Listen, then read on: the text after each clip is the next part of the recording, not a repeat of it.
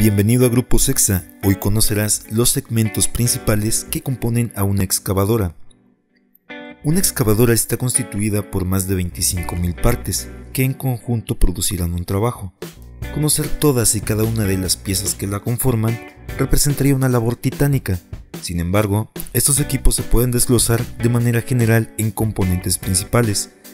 Reconocerlos ayuda a identificar fallas del tipo estructural durante una revisión Segmento número 1. Tren de rodaje. Contemplará todas aquellas partes encargadas de brindar tracción al equipo.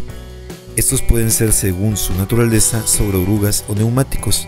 Dentro de los equipos con tracción sobre orugas, los componentes principales destacables son la rueda guía, las orugas, las cadenas, los rodillos inferiores y superiores, el anillo giratorio y el bastidor en el cual se han montado todos estos componentes. Sección número 2. Cabina de operación.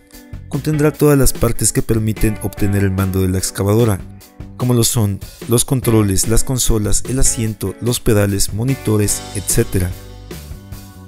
Segmento número 3. Pluma o aguilón.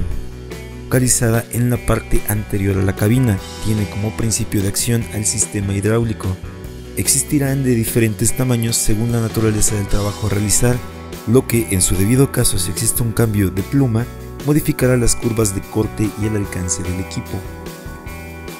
Segmento número 4. Brazo.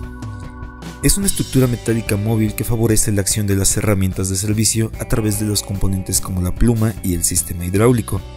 Al igual que la pluma podrá encontrarse en dimensiones diversas para extender el alcance del equipo y sus curvas de corte. Segmento número 5. Herramienta de servicio. La herramienta más común empleada en una excavadora será un cucharón de servicio, el cual tiene como finalidad el movimiento de tierra. Sin embargo, esta no será la única herramienta, ya que existen en el mercado herramientas que pueden brindar a la excavadora funciones diversas, como lo son los manipuladores de material, los desgarradores, los martillos hidráulicos, etc. Segmento número 6. El motor.